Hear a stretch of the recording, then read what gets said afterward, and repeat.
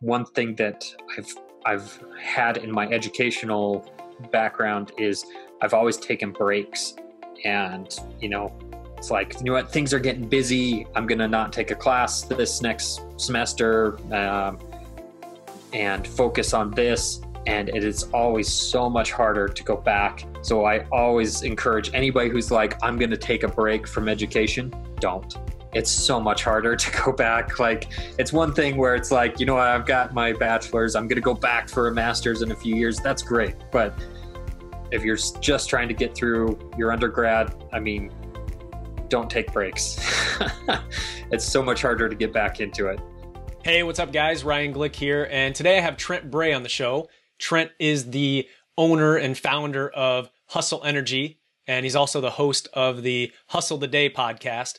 Uh, Trent has a kind of an unconventional background as far as his schooling and everything like that. He was a non-traditional student, so he didn't go to college right out of high school. And I think it was really interesting talking through his experiences of going right out into the workforce and then ultimately making the decision to go back to school to work on getting his degree. So he shares a lot of his insights as far as what it's like going back to school, what it's like working full time, uh, working on your career at the same time that you're working on your degree. So he shares a lot of really good insights.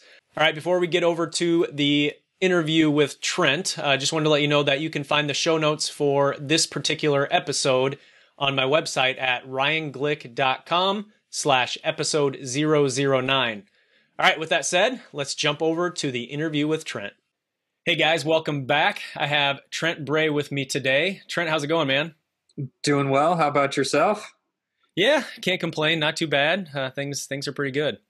Yeah. So um, one of the things that you know I was going through, looking at your uh, kind of your path to where you got today, and one of the things that stuck out to me was that you have, I guess, what I would consider to be a non-traditional educational path. So you, yep. you know, you went uh, from high school right into the workforce, and then later on decided to um, go back and get your degree.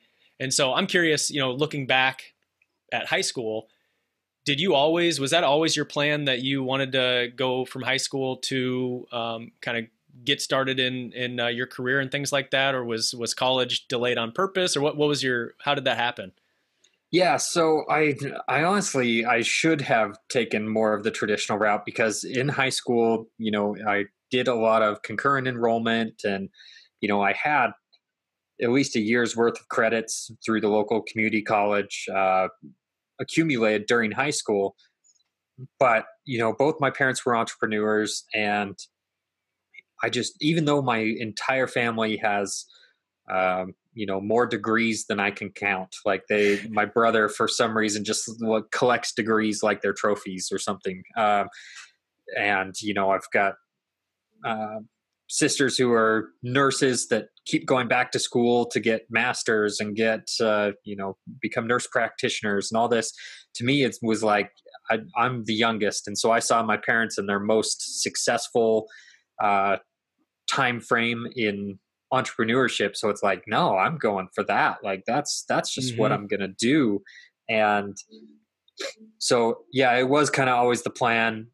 Um, of you know get out there, get working, working on my own thing as much as I can. But uh, I actually started prior to high school. When I was 14, I started doing web design.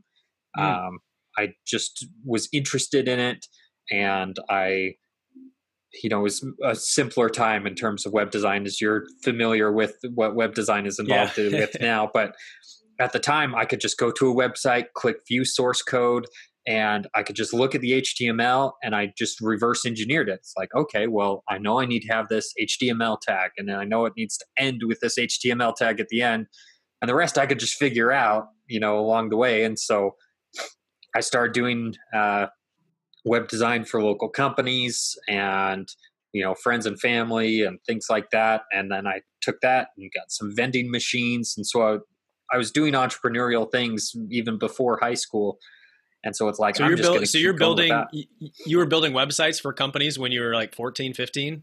Yes. That's yeah, awesome. A, a That's friend so and cool. I, um, yeah, it was, it was a lot of fun, you know, and fortunately my parents had an office. And so it's like, oh, if you've got a meeting, you can take the conference room for a little bit. And um, so cool. it was it was a unique experience, uh, you know, talking to potential clients and whatnot. Uh, but I just figured, you know what, that was going to be the path. And um, as we've talked about uh, prior to this, but you know, my path ended up being getting bored with something, shiny object syndrome, jumping from one thing to another, never really seeing the success that I expected. So it's like, all right, well, you know, the traditional route is college. So uh, I took some classes through the community college, um, took some classes through um, another local college here, and I just was getting poor grades. I wasn't learning anything, and honestly, I hated it. So yeah, I stopped going to school for a while again. Pursued my own thing, and then I eventually stumbled upon University of Phoenix, which I loved. It was online. I learned things. I was getting good grades, and it was just a completely different college experience for me. And I know that's not for everybody, but I loved it. No, that's good. I, I I'm kind of I'm curious because you know you went from high school into the workforce. Now, when you went to the workforce, were you thinking that hey, I'm going right from high school into my own business and that's what I'm going to do till the end of time? Was that kind of your mindset going into it? Yes, yes. I I was going to start a business and it was going to be successful and I'd never look back again, but uh, obviously life has ways of teaching you lessons and you know i've i've learned a lot of lessons through that process. I've uh, you know i had to had gotten to a point where it's like all right i'm out of ways to make certain businesses work out of capital. You know i've worked retail um, i worked uh, best buy for a number of years and then i worked uh, selling cars for a while i um, you know i've i've had some of those more traditional jobs but then always on the side working on something or you know the main job was on the side in my mind yeah. while i'm working on right. on the dream yep yep it's all how you how you shape that in your mind and yep. so if you you know you were working these uh, um, side hustle jobs while you're doing your entrepreneur thing you know while you're going through that did you you know what do you think the benefit is of starting a business, starting your own business as, you know, a side hustle versus going all in initially? Do you think there's some value that you can get from working for somebody else if you're kind of an entrepreneurial minded person? Oh, for sure. Uh, honestly, I've I've I've mentioned uh, on some other podcasts before. Um, my fault is that I jump in too soon. Like hmm. to me, it's like, why am I why am I working for someone else when what this is what I really want to do and I just jump into it. Uh, looking back at it, it's like I look at you know friends who are starting side hustles and going you know keeping their corporate jobs. And I'm like, why are you there? And then I look at the lessons they're learning. First yep. of all, of security, of you know still having a paycheck coming in while you're working on your your uh, passion project, uh, but learning corporate structure, learning uh, how to treat employees, how not to treat employees. Uh, there's just so many benefits to keeping a job until you're ready, uh, but also at the same time balancing that with not staying there forever because right. people can do that as well. So, how do you stay motivated in that situation, or how have you stayed motivated in the past when you know your your maybe your entrepreneurial venture is not going as quickly as you want it to go it's not taking off as fast as you want it to go you're working somewhere and i think it can be really easy for someone who wants their own business to take off and start you know going the direction they want it to go where you can become bitter toward your employer even though it's nothing mm-hmm. i mean they're the ones who are obviously helping you fund your business venture by you going there working and they're giving you a paycheck but you can you can kind of just look at that negatively how how did you stay more positive over the years and uh, help that you know springboard you to your own business?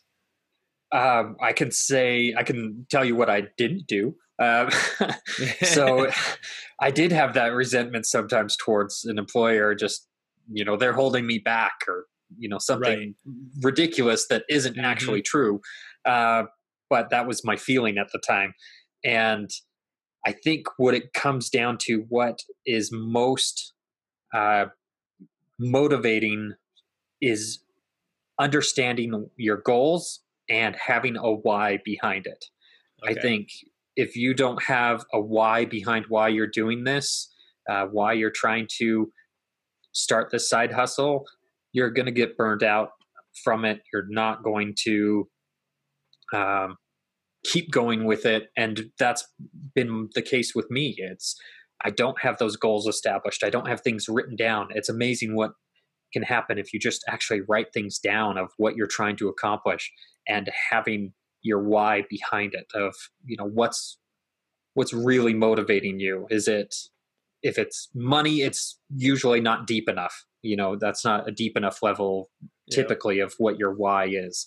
Um, for me it's based around my family. You know i want to provide a uh, a life for my family that you know they understand the value of hard work. They understand you know all these things but at the same time i can provide um, of lifestyle flexibility that you know if i have a you know sports event for my kids i'm going to attend you know it's yeah. not something that i i want to have is my personal feeling at least you know is i don't want a boss to tell me whether i can go to that game or not uh-huh. it's it's i want that flexibility to say no i'm going because i want to support my kid yeah so um you know you got to a certain point i think it was 2011 if i remember correctly when you uh, went to university of phoenix or started at university of phoenix so mm-hmm. you you did that part part time is that right or while you were still continuing to work? Yes. Yep. That was uh, part time, just nights. Uh, you know, trying to make it work. I did attend some classes in person, uh, and I actually met a decent group of people there. And then University of Phoenix shut down that campus, and okay. so I've moved solely to online. But I really enjoyed the online learning aspect. Nice. And so while you were doing that part time, what were some of the challenges you were facing trying to continue your education while also continuing to you know work full time? Yeah, great question. Uh, it, it, it it isn't easy. Um, it's you know it's often times of okay, I know this assignment is due, but I also know this will advance my career or you know, at least I feel like it will advance the career. What do I dedicate the time to? And I took different paths and different occasions. And um, one thing that I've I've had in my educational background is I've always taken breaks, and you know, it's like you know what things are getting busy. I'm gonna not take a class this next semester. Um, and focus on this and it is always so much harder to go back. So I always encourage anybody who's like, I'm going to take a break from education, don't. Yeah. It's so much harder to go back. Like, it's one thing where it's like, you know, I've got my bachelor's, I'm going to go back for a master's in a few years. That's great. But if you're just trying to get through your undergrad, I mean, don't take breaks.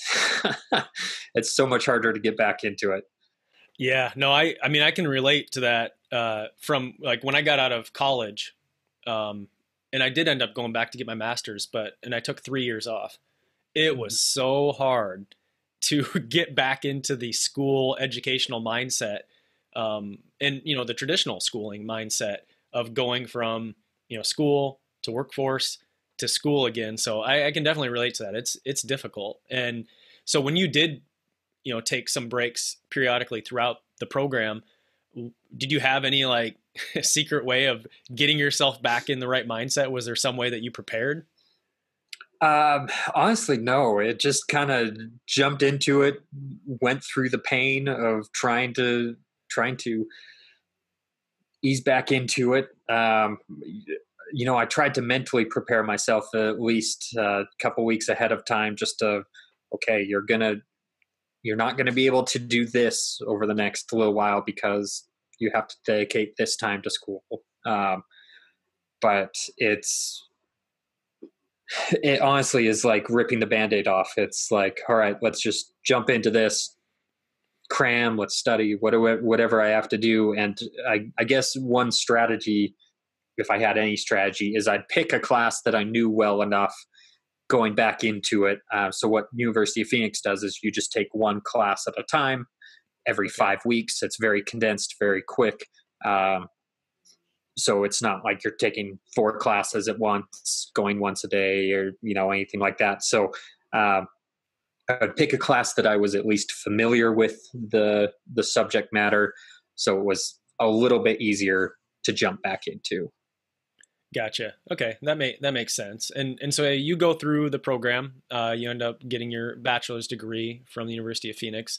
And how have you seen that um, provide value in your day to day? Has have you seen it provide value that you were hoping you were going to get from it, or was it more about was it less about the degree you got at the end and more about the experiences going through it or the people you met? You know, what what was the valuable part about that?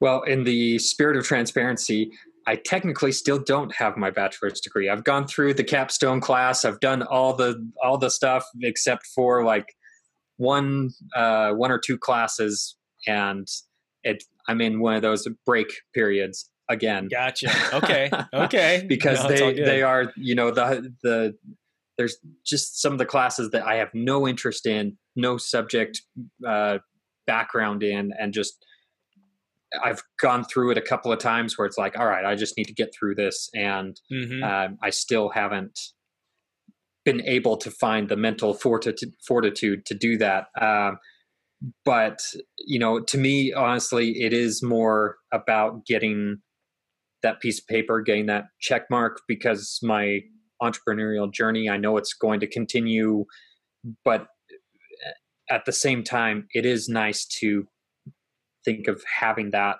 uh, ability to um, you know fall back on that yeah. degree if something does happen because you know as i've experienced in my own entrepreneurial journey i don't always have uh, a, a solid idea and i do have to fall back onto something else. Yeah no that's cool. To be able to have like you said to be able to have that to fall back onto. It's kind of like the uh, the professional athletes right that um, you know they, they make the same comments. They're they're going about their lives being professional athletes but at some point that ends and they need something to fall back on. And if they don't have anything to fall back on, a lot of them end up in the spot where it's like, uh, what what do I do now? They they feel lost or anything like that. And I think for people who are not necessarily professional athletes, but who are on entrepreneurial journeys, I think having that knowledge that you do have your degree, you do have that experience that could help you if you ever needed to. It's almost like an insurance policy to a certain degree. And I, I also think that the connections and the people you meet there there's little nuggets you pick up throughout mm-hmm. schooling. And i don't know that it's necessarily get your degree and all of a sudden like you're instantly a, a better person a smarter person or anything like that. I think you develop that throughout the entire program. You know you get to the person you're going to become. Um, so i do want to i want to transition really quick to what you're doing today. So um, what you know from an entrepreneurial standpoint what are you up to these days? Yeah, so uh, my my main thing that I do is uh, I flip houses here in the Salt Lake Valley eh, here in Utah, um, but that honestly is something that takes up very little time. Uh, I've got a very good system in place, uh, and that's something I've you know learned over the years. Of um, I'm not very handy. Uh, I've had to learn it, but um, it's not my strong suit. So you know i've got a system in place now where i do obviously give up some profit to be able to have this in place but you know i identify a property look at a property and then you know it goes on the market after it's done you know i don't have to yeah. pick up a hammer or anything like that which is really nice which allows me time to work on my passion project which is um, it's called hustle energy uh, it's a uh, it's a, something I've been working on for years and something I've had an idea for for years prior to that. But um, I'm in trial production again for like the fifth time of a uh, focus product. It's a powdered mm. drink mix geared towards entrepreneurs. Um, and then I also have a podcast associated with that called Hustle the Day.